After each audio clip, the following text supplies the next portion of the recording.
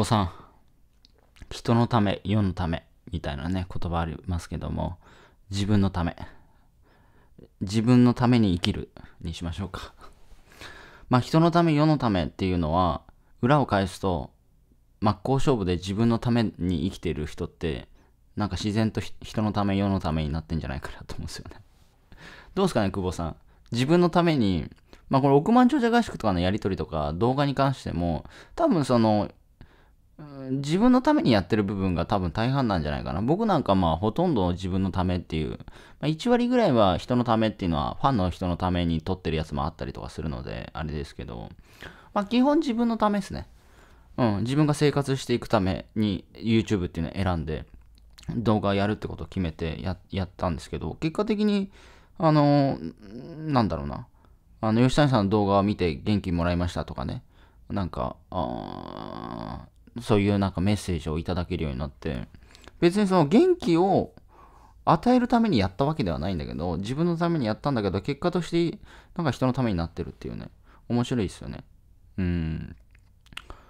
なんか、別にどっちでもいいんじゃないかなと思うんですね。結局僕は行き着いたのは、100%で、できるだけ100%で自分のために生きるっていう。自分の人生を誰が歩むのかっていう自分しかいないじゃないですか。自分の人生を肯定するのも自分しかいないし、うーん、なんかやっぱ周りに振り回されてる人が本当に多いんじゃないかなと思うんですね。僕は、あの、周りに振り回されるんじゃなくて、周りを使うクソ負けたるかっていうのに使うんだったらいいんですけど、周りに振り回されてる生き方ってすげえ大変なんじゃないかなと思うんですよね。うん。やっぱ、うん、本当の人生、自分の人生を自由に生きるって、自分のために生きてる人じゃないのかなっていう。うん、自分の好きなことに没頭したりとか、自分のやりたいことに没頭したりとか、まあ僕、ゴーギャンの生き方がすごく好きなんですけど、タイトルゴーギャンの生き方にしましょうか。絵描きさんがいるんですけどね。まあ、ゴーギャンっていうのはいきなりサラリーマンかみたいなのやってたんですけど、いきなりなんか絵を描きたいって言い出して、家族も全部捨てて、なんか南の島かどっか行って、ひたすら絵を描くんですけど、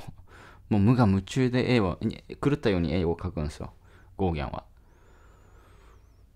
僕はそういう生き方の方が、僕はね、ゴーギャンの生き方がすごいなと思いますね。うん。自分に正直に生きる。うん。でもみんな自分に正直に生きてないと思うんで、まあ、できるだけゴーギャンの生き方を僕は、僕はリスペクト、まあ、影響されているっていうか、いいなと思う生き方ですね。うん、自分がこう思うことをもう貫くというか、人に何と言われようと、俺はこうだと。それを貫いて生きていけるのか、生きていけいけていけないのか。で、僕は自分の思いを形にするために貫けるように、これからも情報ビジネスをやり続けるし、他人に何と言われようとね、あの、非難浴びようと、まあ、ずっとやっていくかなというとこですね。はい。あなたはどんな生き方をしていきたいですか？いってらっしゃい。